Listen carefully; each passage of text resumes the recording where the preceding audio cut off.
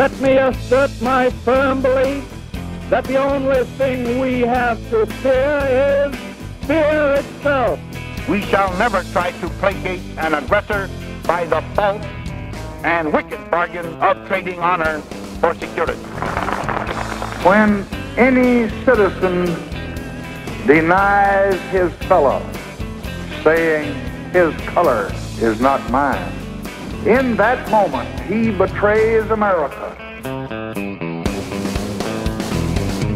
Mankind will celebrate that great new year which comes only once in a thousand years, the beginning of the third millennium.